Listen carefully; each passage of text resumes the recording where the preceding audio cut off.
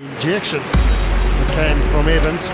Roberts Hansen with the carry. Rose thinks right, goes left. Now looking for gaps. Very well negotiated by Blossom. He gets the pass away and he gets another try in the opening moments of this match. Tedder, second receiver position this time. It's well presented for Rose and they keep